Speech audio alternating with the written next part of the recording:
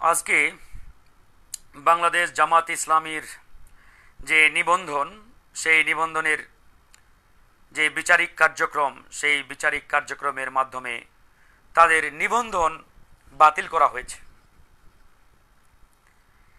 এই বাতিল প্রক্রিয়ার মাধ্যমে আওয়ামীপন্থী গণমাধ্যম, আওয়ামীপন্থী বুদ্ধিজীবী, আইনজীবী, তারা ঢালাওভাবে ব্যাপকভাবে প্রচার করছে যে জামাতি ইসলাম বাংলাদেশ থেকে নিষিদ্ধ।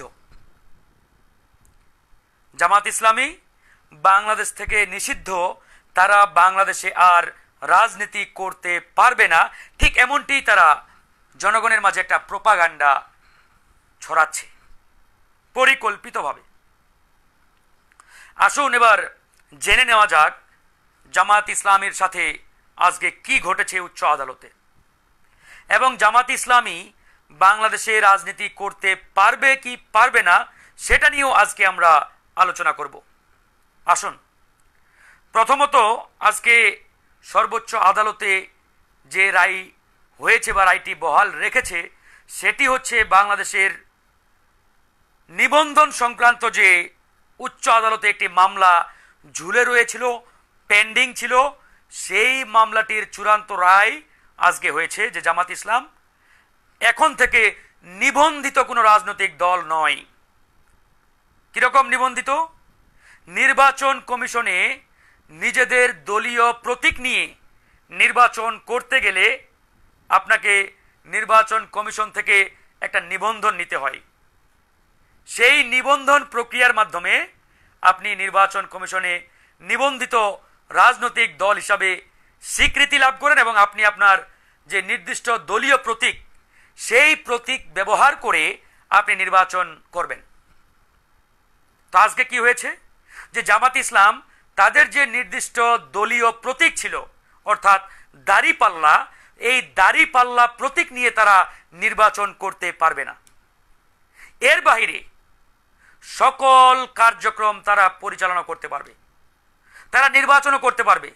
শুধুমাত্র দাড়িপাল্লা প্রতীক নিয়ে তারা নির্বাচন করতে পারবে না।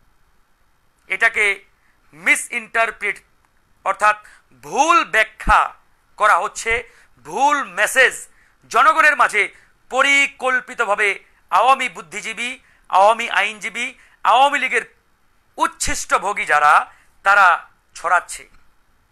জনমনে একটা নেতিবাচক মনোভাব তৈরি করার জন্য। তাই এই বিষয়টি আমি পরিষ্কার করার জন্য আজকে লাইভে আসছি। এই মুহূর্তে জামাত ইসলাম এক নম্বর মজলুম রাজনৈতিক দল বাংলাদেশের।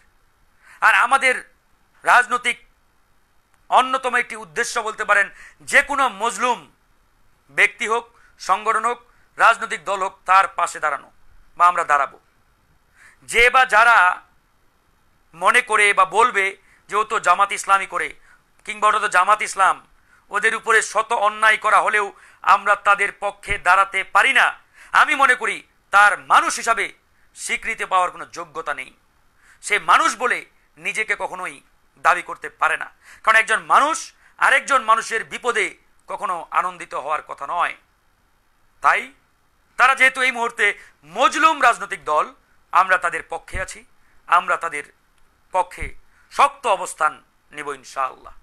এখন আসুন, এই যে আওয়ামী বুদ্ধিজীবী, আওয়ামী আইনজীবী তারা যে মিথ্যাচার করছে যে জামাতের রাজনীতি নাকি বাংলাদেশ থেকে নিষিদ্ধ।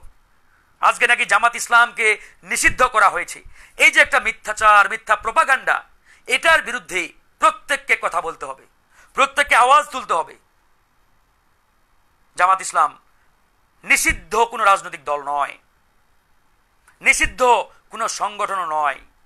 আজকে এই সরকার সর্বোচ্চ আদালতকে ব্যবহার করে জামাত ইসলামীর নিবন্ধন বাতিল করেছে। কিন্তু জামাতকে এদেশের জনগণের হৃদয় থেকে তারা মুছে ফেলতে পারে নাই, ভবিষ্যতেও পারবে না। আর নিবন্ধন? সেই ব্যাখ্যা কিন্তু অলরেডি আমি দিয়েছি।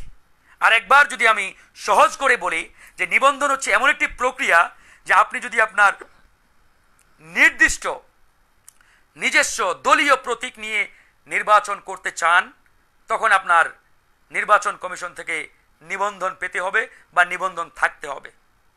আপনার যদি নিবন্ধন না থাকে, তার মানে এই নয় যে আপনি নিবন্ধন না থাকলে, এই নয় যে আপনি রাজনীতি করতে পারবেন না।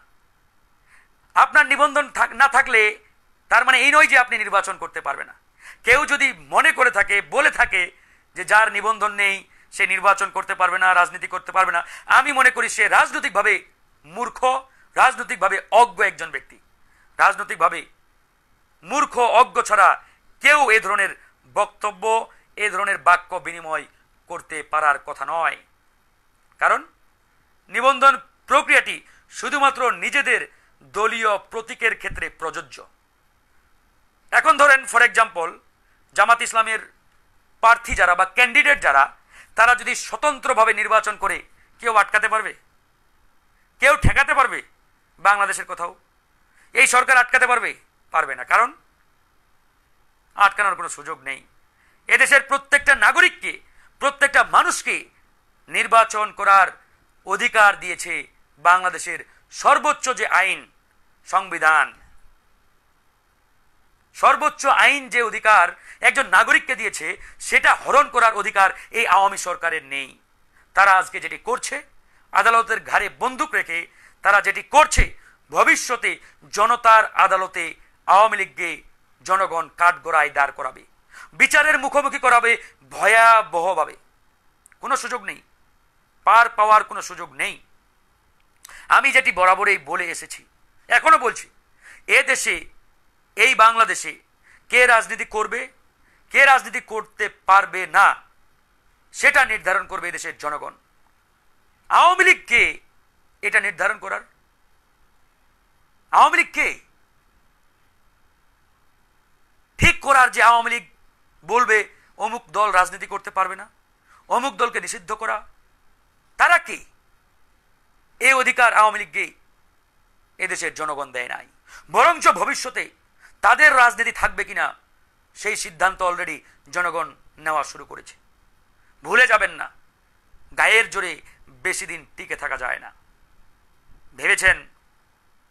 আদালতের ঘাড়ে বন্দুক রেখে সব কিছু আপনারা করে ফেলবেন। এত সহজ, এত সোজা নয়। আদালতের ঘাড়ে বন্দুক রেখে এদেশের মানুষের সম্মিলিত একটা সোশ্যাল কন্ট্যাক্টকে আপনারা নির্বাসনে পাঠিয়েছেন। আমাদের জনগণের সম্মিলিত সামাজিক চুক্তি, তত্ত্বাবধায়ক সরকার ব্যবস্থা, সেই কেয়ারটেকার ব্যবস্থাকে আপনারা ধ্বংস করে দিয়েছেন। আদালতের ঘাড়ে বন্দুক রেখে। ভুলে যাবেন না। ভুলে যাবেন না যে জনগণ ছেড়ে দেবে। আর আপনারা পার পেয়ে যাবেন। তাই আমরা বলতে চাই, আজকে সর্বোচ্চ আদালতকে ব্যবহার করে আওয়ামী লীগ যেটি করেছে, ভবিষ্যতে জনগণ অবশ্যই বিচারিক কাঠগড়ায় দাঁড় করাবে। যেদিন জনগণের সরকার আমরা প্রতিষ্ঠা করতে পারব বা করব। বিচার হবে, হান্ড্রেড পারসেন্ট। তত্ত্বাবধায়ক তুলে দিয়েছে। এটা নিয়ে অনেক বিতর্ক রয়েছে। আমি সেই বিতর্ক বা ব্যাখ্যায় আজকে গেলাম না। আরেকদিন সেই বিষয়টি নিয়ে আমরা কথা বলব। তো যাই হোক, আজকে জামাত ইসলামী কিংবা জামাত ইসলামকে নিয়ে সরকারের একটি বড় ধরনের পরিকল্পনা ছিল। কি পরিকল্পনা জানেন?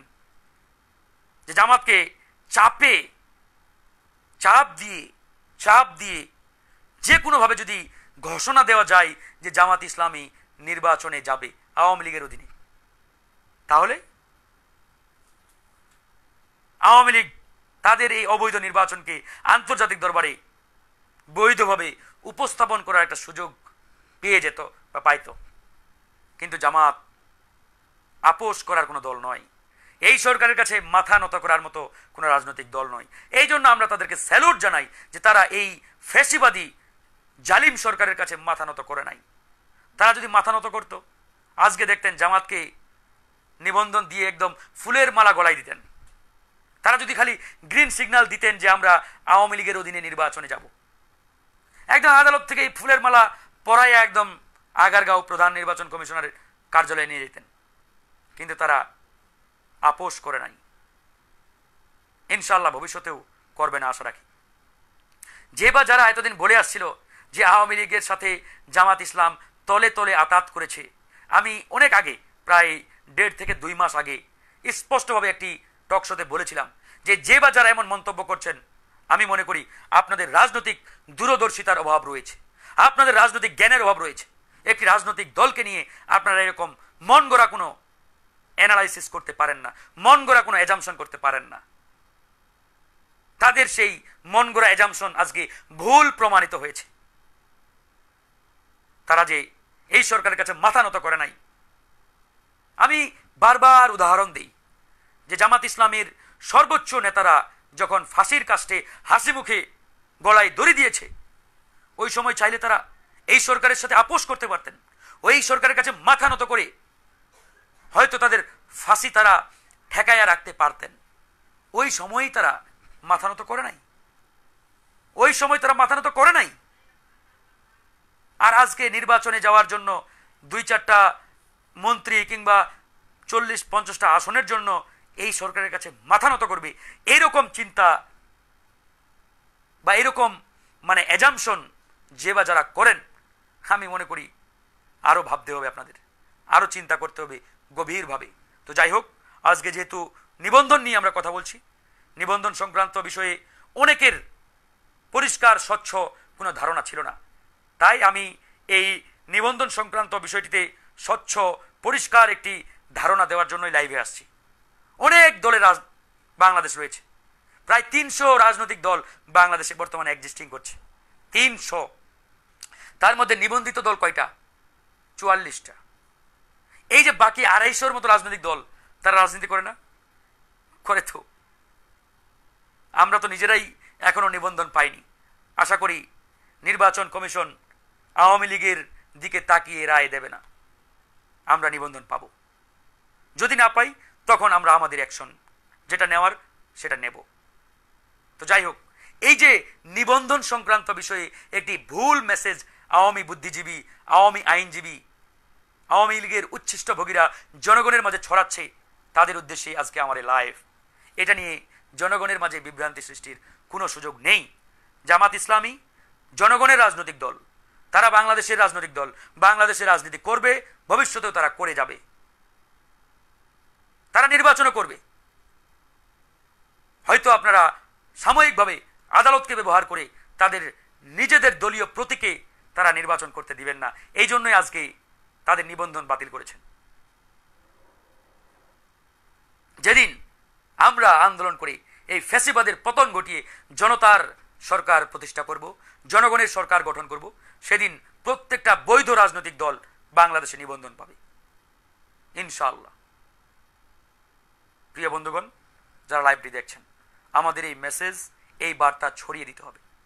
আমি গত একটি লাইভে বলেছিলাম যে আওয়ামী লীগ বড় দুটো পরিকল্পনা হাতে নিয়েছিল তফসিল ঘোষণার আগে। তারা সেই বড় দুটো পরিকল্পনাতে প্রচণ্ড রকম ভয়াবহভাবে ব্যর্থ হয়েছে ফল্ট করেছে।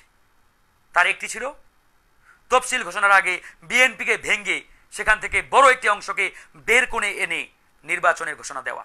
তার মানে বিএনপি থেকে বড় একটি অংশ বের হয়ে আসবে। তারা বড় একটি প্রেস কনফারেন্স কিংবা সমাবেশ করে ঘোষণা দিবে, আমরা দলীয় সরকারের অধীনে নির্বাচনে যাব। কিন্তু এই জায়গায় তারা ব্যর্থ হয়েছে। ভয়াবহভাবে ব্যর্থ হয়েছে। পারে নাই? একটা নেতাকে বের করতে পারে নাই। দেখেন বিএনপি এত ঠুঙ্কো রাজনৈতিক দল নয়, এত কাঁচা রাজনৈতিক দল নয়। তাদের দ্বিতীয় পরিকল্পনা ছিল, এই মুহূর্তে যারা আন্দোলন সংগ্রামে রয়েছে আমরা, নির্বাচনের তফসিল ঘোষণার আগে মানে অবৈধ তফসিল ঘোষণার আগে এখান থেকে বড় একটি অংশ বা ছোট ছোট রাজনৈতিক দলগুলোর বড় একটি অংশকে বের করে এনে ঘোষণা দেওয়া হবে যে আমরা এখন নির্বাচনে যাব, আমরা এখন নির্বাচন নিয়ে ব্যস্ত।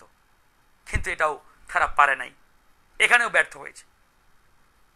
আর এই সবগুলোর মধ্যে অন্যতম ছিল জামাত ইসলামীকে কোনোভাবে যদি নির্বাচনে নিয়ে আসা যায়, জামাত মাথা নত করে নাই।